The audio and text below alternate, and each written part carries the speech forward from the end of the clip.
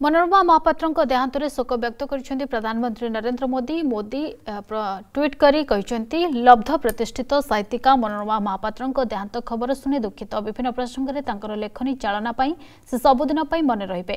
ଗଣମାଧ୍ୟମ ଜଗତ ପାଇଁ ତାଙ୍କର ଅବଦାନ ତଥା ସମାଜସେବା କ୍ଷେତ୍ରରେ କାମ ତାଙ୍କୁ ଚିରସ୍ମରଣୀୟ କରି ରଖିବ। ଏହାସହ ତାଙ୍କର ଶୋକ ସନ୍ତପ୍ତ ପରିବାରକୁ ସମବେଦନା ଜଣାଇଛନ୍ତି ପ୍ରଧାନମନ୍ତ୍ରୀ।